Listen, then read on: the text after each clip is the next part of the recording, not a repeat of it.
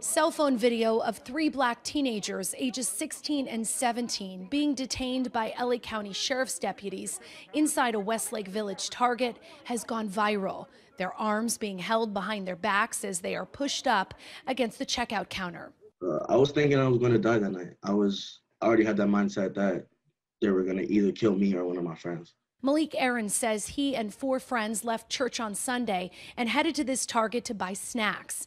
The teens say inside the store they witnessed a separate group of black men steal iPhones from a display case and run out.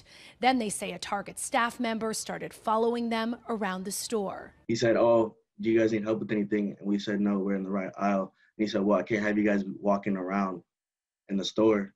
And you know that kind of just like made me really uncomfortable. And then that's when i told everyone like let's just forget about the snacks and let's leave. But when the teens malik greg kim and their three friends approached the exit they say target had it blocked with shopping carts. They wouldn't let us leave at all. They were letting other people leave. That's when the teens say deputies arrived. One of their friends started rolling on her cell phone.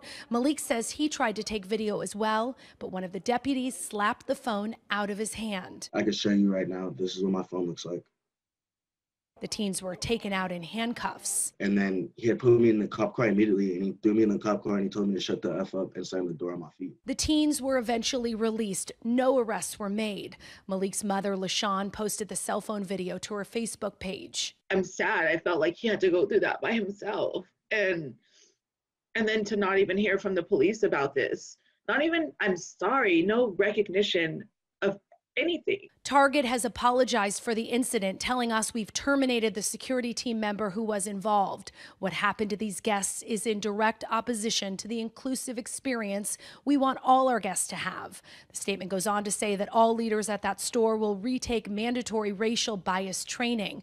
But an attorney for the family says that's not enough. It needs to be deeper than that. I mean, you got to take a look at their hiring practices. You've got to take a look at their promotional practices. Both Malik and Greg coach youth sports and worry their reputations will be damaged. We just want change.